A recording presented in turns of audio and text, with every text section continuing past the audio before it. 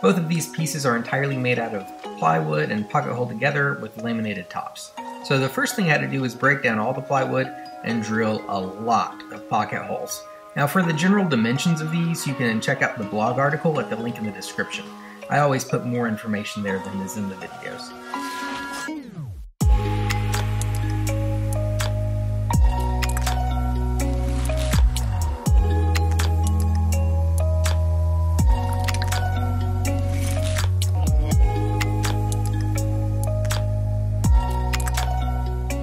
My wife wanted the storage unit to have a clipped corner, so I used what will be the side piece to mark where to cut and then went to the miter saw to clip the corners on the shelves, top and bottom.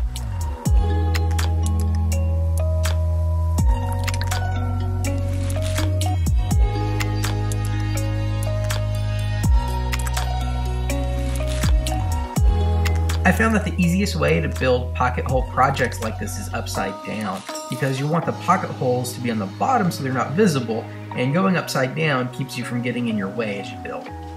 I first screwed the sides into the top and then used the shelves to lay out where the middle support should go and screwed them into the top.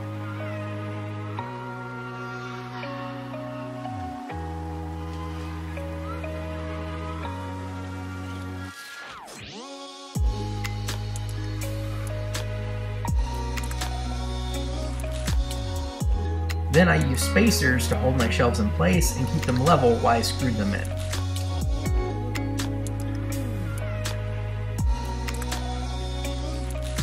You'll notice that the middle supports are shorter than the sides. This is so the bottom will be raised off the floor and only the sides will be on the floor. That'll help keep everything stable, because if the entire bottom was on the floor and the floor was uneven at all, then the shelves would be really rocky. To attach the bottom, I use pocket hole into the sides because they won't be seen, and then I mark where the middle supports run along the bottom and just pilot hole and screw right up into them.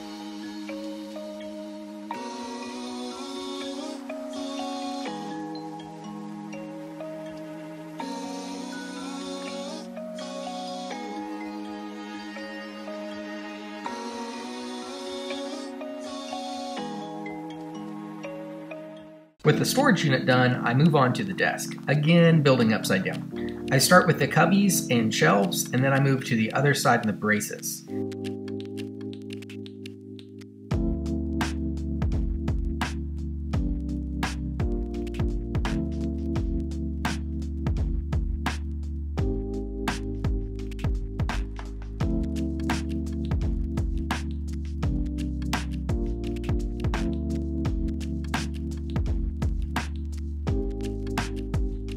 Now the desk is going to have a recess for a sewing machine, so I build out a box that'll get mounted underneath it, but I make it the full width so that way it'll also reinforce the top.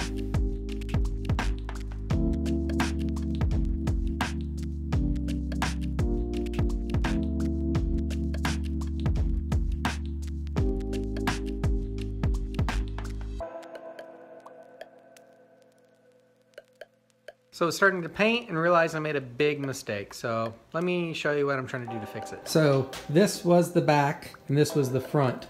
These cubbies are supposed to be on the right, but they're on the left. So I'm moving the back up to the front.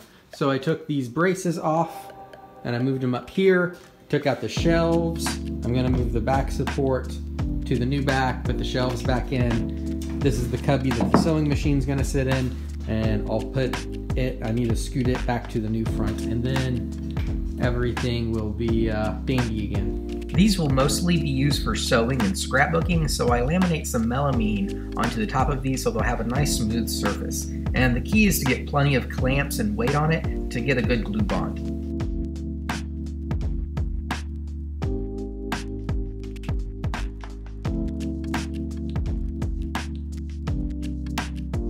After the glue dries, I flush cut the edges with the pattern bit in the router, but first I tape off all the edges to try to minimize tear out. This didn't work as well as I hoped, but I think it did help some.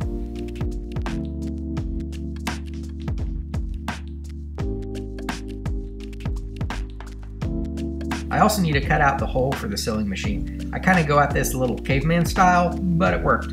So the only thing left at this point is some touch-up paint and then to take these upstairs. I'd like to highlight my buddy Doug over at DN Handcrafted. He puts out amazing videos of really interesting projects on his channel, and right now he's doing a series on how to model woodworking projects in Fusion 360. So if that's something that interests you, for sure go check him out. And if you have any recommendations on who to follow, please leave me a comment and let me know.